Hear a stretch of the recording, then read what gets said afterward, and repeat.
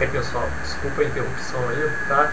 É, mas como está sendo tudo feito agora em cima da hora, né, eu também tenho, tenho outros problemas aqui para resolver aqui em casa. Você já viu, né? A mulher que veio aqui dar uma bronca em mim, mas tudo bem.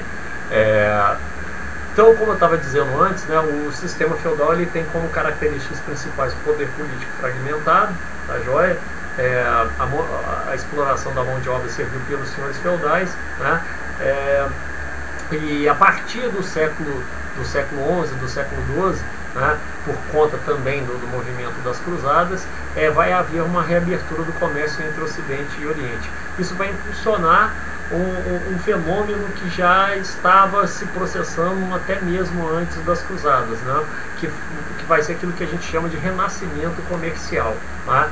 Então as trocas vão se tornando cada vez mais intensas, a produção é, agrícola ela tinha crescido bastante por causa da, da, estabilização do sistema feudal, né, as guerras praticamente acabaram, então morreu menos gente, então para abastecer a população, já que a agricultura era de subsistência, foi necessário aumentar a produção, aí começa a haver uma intensificação das trocas, aí começa a haver esse, isso que nós chamamos de renascimento comercial. Então o sistema que era feudal, que era o sistema monetário, quase sem circulação monetária, quase sem comércio, né, é, é, com uma agricultura essencialmente de subsistência, ele começa já a se tornar uma, uma economia mais comercial, a vida passa a ser um pouco mais urbanizada, tá?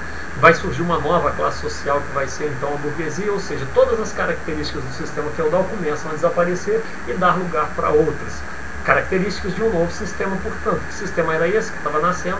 Era o sistema capitalista, que vai se consolidar principalmente a partir do século XIV, né? porque no século XIV, como a gente sabe, teve aquela grande crise do século XIV, Guerra dos 100 Anos, peste negra, fome, mais da metade da população europeia acaba falecendo, né?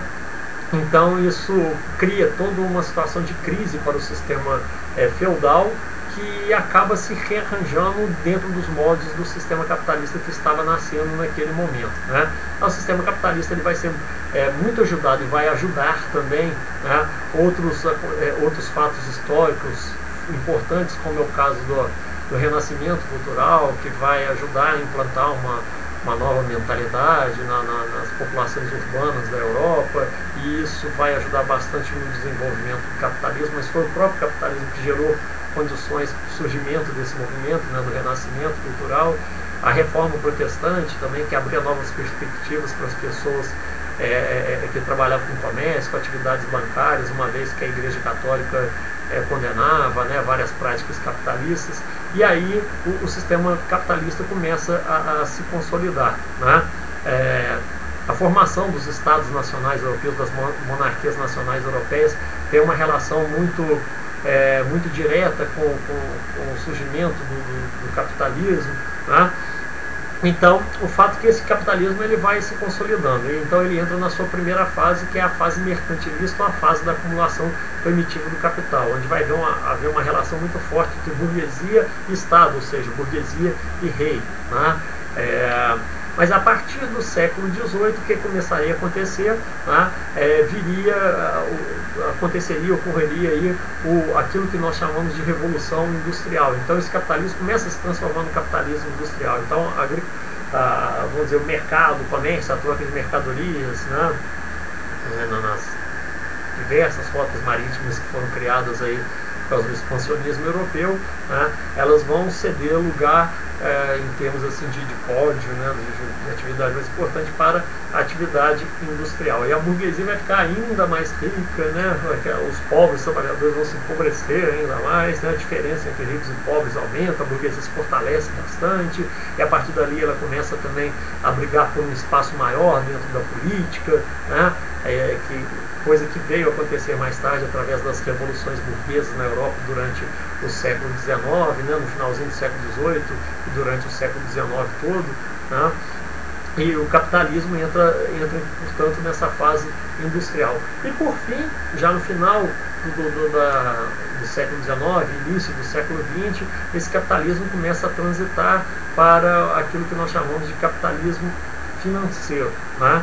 É que vai depender muito das instituições financeiras, né? as operações se tornam cada vez mais vultuosas, mais grandes e passa a depender por isso cada vez mais do sistema financeiro. Né? Então essa seria assim a, a, última fase do sistema capitalista. Como deu para vocês perceberem, o capitalismo ele teve um desenvolvimento que acompanhou o desenvolvimento das, da, das sociedades humanas até então. Né? Então, gente, de uma forma geral, e falando assim de uma forma bem rápida mesmo, só para poder dar o toque daqueles pontos mais importantes, eu procurei muito trabalhar a compreensão né, do tema principal, que no caso é o desenvolvimento do próprio sistema capitalista. Né? Então, revolução industrial é muito importante para esse tema, né? é, mercantilismo, a joia, ou como que funcionava o sistema feudal. Então, é legal, quem ainda não deu, não deu uma lida em nada disso aí, é legal procurar ler um resumo aí, né, para poder se inteirar desse assunto, que são tópicos importantes. A joia? Como, eu, gente, eu, desculpe a, a, repetição, mas como eu disse para vocês, por causa desse problema técnicos, eu tenho que fazer tudo aqui muito correndo, né? Não dá para se aprofundar em nada. Foi uma pena ter perdido essas aulas aí. Depois que eu gravar essa aqui, a primeira da sequência, eu vou ter fazer um teste novamente para ver se está dando tudo certo, porque mesmo com três testes eu achando que ia dar tudo certo, acabou dando errado. Então vou terminar de gravar essa aula aqui, vou fazer outro teste para ver se está funcionando. E se não tiver, ah, vou fazer o quê? Não, mas se você estiver assistindo esse vídeo, porque deu certo, tá bom? Então vamos ao gabarito aí da, do capítulo, né, do capítulo 8 aí, tá bom? Aliás, capítulo 7. Isso, né, do capítulo 7. A joia parece que a gente parou foi nele, tá? Então vamos lá. Segunda questão D Terceira questão B de besta, sou eu que não sei gravar o vídeo. Quarta questão D. Quinta questão D de burro. Ah, não vou falar mais nada. Sexta questão C. Sétima questão D de dromedário. Oitava questão D de doente. Falou, pessoal? Então, até o próximo vídeo, rapidinho. Vai ter que ser tudo na base da correria aqui. Valeu!